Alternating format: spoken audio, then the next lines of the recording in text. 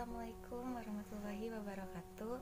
Perkenalkan nama saya Usfatul Khoria. Saya dari Farmasi 18B Universitas Buana Perjuangan Karawang. Di sini saya akan memberikan informasi mengenai tanaman obat. Nah, tanaman yang akan saya bahas kali ini yaitu cabai rawit. Pasti belum ada yang tahu kan kalau cabai rawit ini ternyata bisa dijadikan obat loh. Hmm, kalau gitu yuk kita cari tahu sekarang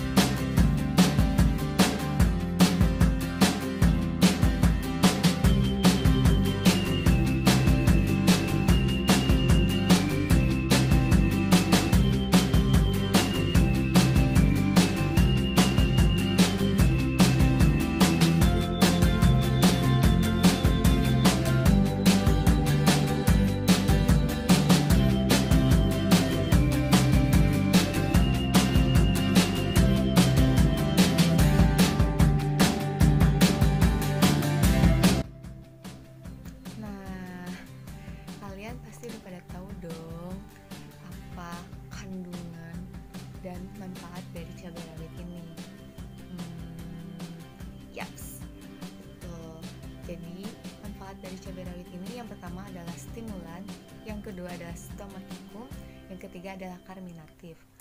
Nah, karena dia memiliki manfaat sebagai karminatif ini, jadi dia sangat cocok buat kalian yang lagi masuk angin. Kenapa? Karena karminatif itu bisa untuk mengeluarkan angin dari dalam tubuh. Begitu.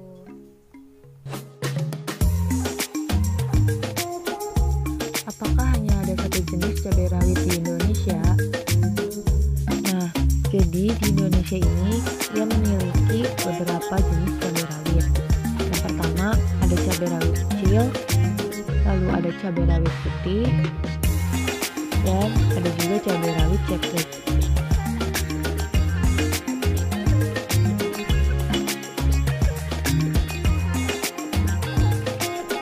Hai, balik lagi bersama saya. Hmm, gimana nih? Udah tahu apa aja perbedaan dari jenis-jenis cabai rawit yang tadi? Hmm, kalau belum, yuk kita cari tahu. Nah, di sini saya punya contoh cabai rawitnya. Cara ini adalah cabai rawit kecil, kayak gini